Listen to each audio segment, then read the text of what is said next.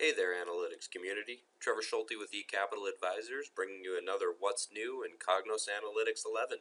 Today, I want to talk to you about performance analysis within report.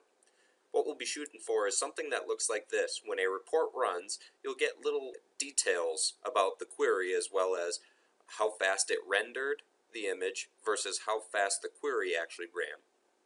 To do this, we'll go back into our portal for Cognos and I'm going to open a report that I've already created. I'm going to open it in edit mode.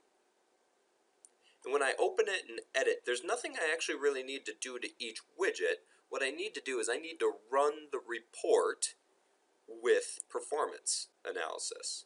So I'm going to go to this run and show run options. When the run options opens, down at the bottom there'll be a check mark box for include performance detail. When I select that and hit OK, now when I run the report from report as HTML, I'll get those little marks down at the bottom. And again, when I hover over the eye, I can get more detail about how long did it take to render the object versus how long did the query take to execute. Each widget within my report has these details. Thanks for watching. If you found this video helpful, please hit the like button, as well as subscribe to our YouTube channel. And as always, visit us on the web at www.ecapitaladvisors.com. Thank you.